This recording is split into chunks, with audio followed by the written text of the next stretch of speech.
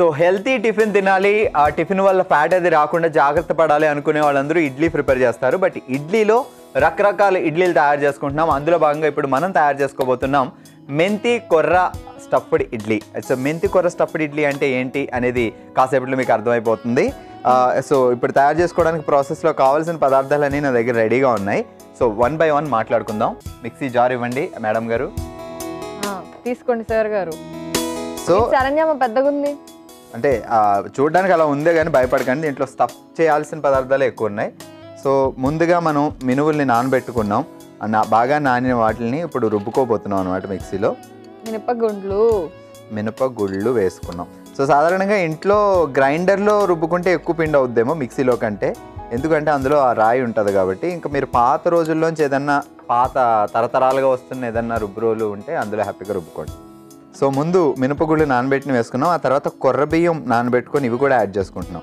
So సాధారణంగా మినపప్పు బియ్యంతో పిండి రుబ్బుకొని డైరెక్ట్గా వేసేసుకోవచ్చు. దాంట్లో ఇడ్లీ రవ్వ యాడ్ చేయాల్సిన అవసరం లేదు. బట్ మనం కొంచెం ఇడ్లీ రవ్వ కూడా యాడ్ చేసుకుందాం. సో కొర్ర బియ్యం మినపప్పు కొర్ర బియ్యము మీరు కొంచెం వామ్ వాటర్లో నానబెట్టండి. ఎందుకంటే కొంచెం లేట్ అవుతుంది అనమాట అవి సో నానటానికి. వామ్ వాటర్లో అయితే కొంచెం ఫాస్ట్గా నానుతుంది అని. ఉద్దేశం అనమాట సో తిన్న ఎనర్జీ అంతా ఎక్కడ పెడుతుందో అప్పు. ఇదిగో ఇప్పుడు ఇక్కడ పెడతా.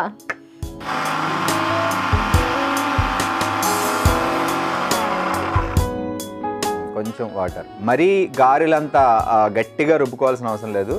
ఇడ్లీలే కాబట్టి కొంచెం మెత్తగా. కొంచెం పలుచగానే ఏం పర్వాలేదు మరీ పలచగా అయితే దోశల పిండి అవుద్ది మీడియం.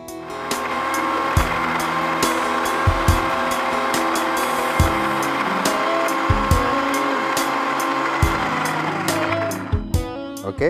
ఓకే అంటే కొంచెం కొర్రలు ఉన్నాయి కాబట్టి కొంచెం అలా అనిపిస్తుంది కానీ చాలా సాఫ్ట్గా వచ్చేసింది. సాఫ్ట్గా వచ్చిందో లేదో నేను చెప్పాలి యాక్చువల్గా. సరే సార్ మిక్సింగ్ బౌల్ తీసుకొని చెప్పండి సార్. ఓకేనా సార్? ఓకే ఇంకా కొంచెం మెత్తగా చేయొచ్చు పర్వాలేదు. అందులో కొర్రలు ఉన్నాయి కదా భార్గవ్ నువ్వు కొర్రల విషయం మర్చిపోతున్నావు. ఇంకొంచెం పలుచు కావాల్సిందా? ఆహా, సరిపోతుంది. కావాలంటే మనం యాడ్ చేసుకోవచ్చు. అదే నువ్వు ఉన్నావు కదా. అదే నా ధైర్యం. కానీ ఇలా సరిగ్గా రుబ్బకపోవడం వల్ల మన పిండి ఉరుమవ్వలేదన్నమాట. అసలు ఇది అన్యాయం సో పావు కిలో పప్పు నానబెట్టుకుంటే ఒక కిలో పిండి అవ్వాలి కదా. ఎలా అవుతుందమ్మా? పప్పులను పిల్లలు పెడతాయి ఏంటి? మరి అందుకే రుబ్బు రోజుల్లో రుబ్బుకుంటే అవుతుంది. సరే రోల్ తీసుకురా. రాత్రంతా రుబ్బుదాం. రాత్రంతా రుబ్బితే అప్పుడు రా అవును ఇడ్లీ పిండి పులుస్తుందా? నో ఇడ్లీ. పిండి పులిపించం మనం. ఇడ్లీలు అప్పుడే వేసుకుంటాం కానీ దోశ పిండి అయితే మాత్రం డెఫినెట్గా అలా ముందు రోజు ఏమన్నా మీరు రుబ్బి పెట్టుకుంటే దాన్ని ఫ్రిడ్జ్లో పెట్టుకోవాలి. బయట పెట్టుకుంటే పుల్లగానే అవుతుంది. సో ఇప్పుడు నేను ఇడ్లీ రవ్వ నానబెట్టి రెడీ చేసి పెట్టుకున్నా ఇది కూడా కొంచెం యాడ్ చేసుకుంటున్నా. సో ఆల్రెడీ మనం బియ్యం వేసాం కదా అంటే కొర్రలు వేసాం కాబట్టి సో కొంచెం ఇడ్లీ రవ్వ కూడా యాడ్ చేద్దాం. కొద్దిగా ఉప్పు కూడా వేసే ఇందాక వేయలేదు కదా. ఇందాక రుబ్బుకునేటప్పుడు వేయలేదు కాబట్టి ఇప్పుడు యాడ్ చేసేసుకోవచ్చు. లేదంటే స్టఫ్లో కూడా వేస్తాం. కాకపోతే పైది ఉప్పుగా చప్పగా ఉంటుంది కాబట్టి కొంచెం ఉప్పు. చాలా తక్కువ వేస్తున్నా ఎందుకంటే స్టఫ్లో కూడా మళ్ళీ వేస్తాం కాబట్టి. మామూలుగా కొర్రలు ఉడకడానికి టైం పడుతుంది పొద్దున పొద్దున్నే కొర్రలు తినాలి అంటే చాలా కష్టం అనుకుంటే ఇట్లాంటి మిక్స్చర్ అయితే చాలా బాగుంటుంది. సాధారణంగా ఇదే పిండిలో మనం ఈ స్ప్రింగ్ ఆనియన్స్ ఇవన్నీ యాడ్ చేసేసుకొని ఇడ్లీగా వేసుకోవచ్చు. బట్ దానికంటే ఇంకా కొంచెం అంతకు మించిన టేస్ట్ కోసం విడిగా మిక్స్ చేసుకుంటున్నాం. ఇప్పుడు పిండి అయితే రెడీ చేసి పెట్టేసుకున్నాం. నేను స్టవ్ వెలిగించేసా. విడిగా మిగతావన్నీ మిక్స్ చేసుకుందాం. ఏమేమి చేసుకోబోతున్నాం అంటే సో కొంచెం మునగాకు. ఇవి కూడా బాగా చిన్న చిన్నగా చించేసేయండి. అప్పుడు ఈజీగా అందులో మిక్స్ అయిపోతాయి. ఆకుల్లా తగలకుండా ఉంటుంది. కొంచెం మునగాకు తీసుకున్నాం. ఆ తర్వాత స్ప్రింగ్ ఆనియన్స్ ఉల్లికాడలు అంటే ఆల్మోస్ట్ అందరికీ అర్థమవుతుంది సో ఉల్లికాడలు. సో కొన్ని ఉల్లికాడలు వేసుకున్నాం. సో తర్వాత మెంతికూర మెయిన్ మనం మెంతికూర కొయ్య స్టఫ్ చేసిన ఇడ్లీ అంటున్నాం కాబట్టి మెంతికూర కొంచెం ఎక్కువ వేసుకున్నా. సో పచ్చిమిరపకాయలు. సో మెంతికూర వేసుకున్నాం. కొర్ర బియ్యంతో చేస్తున్నాం కాబట్టి మెంతి కొర్ర స్టఫ్డ్ ఇడ్లీ కాబట్టి సో మెంతి కూర మెంతికూర కొంచెం ఎక్కువ వేసుకున్నా. సో ఆ తర్వాత కొంచెం దాల్చిన చెక్క పౌడర్. సో దాల్చిన చెక్క పౌడర్ కొంచెం ఘాటుగా ఉంటుంది కాబట్టి చాలా తక్కువ వేసుకోండి. అలాగే మిరియాల పొడి. మిరియాల పొడి కూడా కొంచెం స్ట్రాంగ్గా ఉంటుంది. ఇది కూడా జస్ట్ అలా స్ప్రింకిల్ చేస్తే సరిపోద్ది. సో ఇప్పుడు ఉడకబెట్టిన ఆలు ఉడకబెట్టిన బంగాళదుంప సో దీంట్లో స్మాష్ చేసేస్తే అదంతా స్టఫ్లా పర్ఫెక్ట్గా అవుద్ది అనమాట సో ఇంకా వాటర్ అది ఏమి యాడ్ చేయాల్సిన అవసరం లేదు. ఆలు ఉడకబెట్టింది చాలా వాటరిష్ ఉంటుంది. సో ఇలా. సో ఇదంతా బాగా మిక్స్ చేసేసి మనం స్టఫ్ రెడీ చేసి పెట్టుకుందాం. ఈ లోపు నేను ఇడ్లీ ప్లేట్ చక్కగా గీ అప్లై చేసేస్తున్నా. ఓకేనా? ఇలా అప్పుడప్పుడు లైఫ్లో ఏదో ఒక్కసారి అలా మంచి ఎలా? చాలు చాలు. ఇదిగో చేస్తే ఇలాంటివి వస్తాయి. అందుకే అసలు చేయకూడదు. ప్లీజ్ ప్లీజ్ ప్లీజ్ అనుకున్నప్పుడే చేయాలి. ఎప్పుడు చేయకుండా అప్పుడప్పుడే మంచి పనులు ఎందుకు చేస్తారు అని. గుడ్. మొత్తానికి ఇన్ని రోజులకి అప్పు ఒక మంచి పని చేసింది కాబట్టి అందరూ క్లాప్స్ కొట్టండి. అయ్యో. ఎవ్వరు కొట్టద్దు. క్లాప్స్ వద్దు. సో ముందు కొంచెం పిండి తీసుకొని దాన్ని ఇలా అడ్జస్ట్ చేసుకుంటే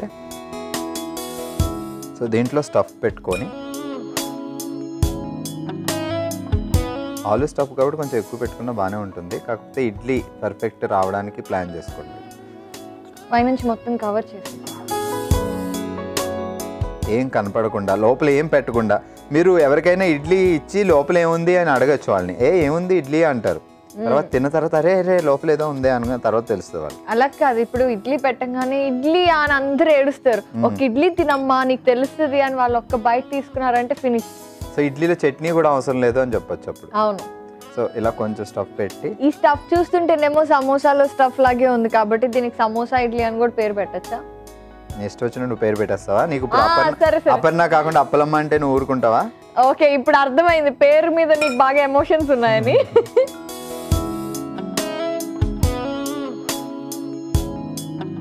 సో ఇలా చాలా ఇడ్లీ ఇంట్లో ఒక ఇరవై మంది ఉన్నారనుకోండి. అప్పుడు అమ్మో మా వల్ల కాదు అంటారేమో. అలాంటప్పుడు ఈవినింగ్ స్నాక్స్లో ప్రిపేర్ చేసుకోండి. అప్పుడు టైం సేవ్ అవుతూ ఉంటుంది. సో మార్నింగ్ హడావిడి అది ఉంటుంది కాబట్టి ఈవినింగ్ టైంలో స్నాక్స్లా ఎప్పుడైనా చాలా బాగుంటుంది అలా అయితే. కొంచెం ఈ ప్రెషర్ ఉండదు టైం అయిపోతుంది అనే టెన్షన్ ఉండదు. కానీ కొంచెం ఇంట్లో భార్గవలో హెల్ప్ చేసే వాళ్ళు ఉంటే ఫటాఫట్ అన్న అయిపోతాయి తెలుసా? ఈ మధ్య వంటలు అనేవి ఈ అబ్బాయిలే చేస్తున్నారు. అబ్బా లేడీస్ ఎక్కడ చేస్తున్నారు? లేడీస్ హెల్ప్ చేయండి పోని. ఓకే. ఆ మాత్రం హెల్ప్ చేయమంటే ఓకే చేసేస్తాంలే.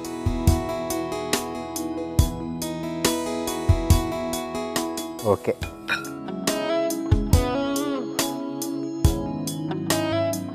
లేడీస్ అందరూ కోపం వచ్చి ఉంటుంది ఎక్కడ వంటలు చేస్తున్నారు అన్నందుకు. లేదు లేదు. బాగా చేస్తున్నారు. ఓకే. కాలుతుంది జాగ్రత్త. నువ్వు అగ్గిరానివు కదా. పెట్టేసి నీకు కాలదు కదా. పైన ఇక్కడ ప్లాస్టిక్ ది ఒక క్యాప్ ఇస్తారనమాట అది ఊడిపోతుంది జాగ్రత్తగా పట్టుకోవాలి. వెయిట్ ఎక్కువ. ఉన్నప్పుడు కొంచెం మొదలుపెట్టు ఓకే ఓకే ఫుల్ ఫ్లేమ్ పెట్టేసేయండి ఇది అవడానికి కొంచెం టైం పడుతుంది. ఓకే సో ఎంతవరకు వచ్చిందో చూద్దాం. ఎంతవరకు వస్తుంది? ఇడ్లీ ఉడకడం దాకా వస్తుంది. వావ్ పర్ఫెక్ట్గా ఉబ్బి పైకి ఎలా వచ్చిందో చూసావా? ఉబ్బి బాగానే వచ్చాయి కానీ మ్మ్. ఇంకా కానీ కానీ లెవిటివ్ ఇప్పుడు కానీ అని దానికి ఏదో సాగదీస్తుంది మళ్ళీ. సర్లే చేయడమే ఎక్కువ. నేర్పించింది నేర్పించినట్టు. ఆవిరి చాలా స్ట్రాంగ్ దానివల్ల చేతులు కాలే అవకాశం ఉంది. ఆ, ఆవిరే కదా ఏం కాదు అని అనుకోవద్దు. కానీ తీసేటప్పుడు మాత్రం. బీ కేర్ఫుల్ చాలా జాగ్రత్తగా ఇట్లా ఇవ్వనా? ఉంటుంది చూసుకోండి. దీంతో పట్టుకోవచ్చు కదా. అదే మరి దీంతో పట్టుకుంటే ఈజీగా ఉంటుంది కదలకుండా. యాక్చువల్లీ ఆయిల్ నెయ్యి అప్పు రాసింది కాబట్టి ఇదిగో ఇలా కొంచెం అంటుకుంది. నేను రాస్తే పర్ఫెక్ట్ ఉండేది. సరే ఇప్పుడు రా తీసేసిన తర్వాత. నెక్స్ట్ వాయిక. ఇది తింటే సరిపోదు మళ్ళీ ఇంకో వాయి కూడా వేయాలా అయినా అసలు నేను ఏం నేర్పించాను? నువ్వేం చేసావు భార్గవ్? సేమ్ నువ్వేం నేర్పించావు అదే చేసా అయితే బాగానే చేశాడు. కొంచెం యాక్చువల్లీ. ఏంటంటే మనం కొర్రలు. వేసాం కదా. ఇడ్లీ రివర్స్లో పెడతా కరెక్ట్. అలా పెడితే బాగుంటుంది.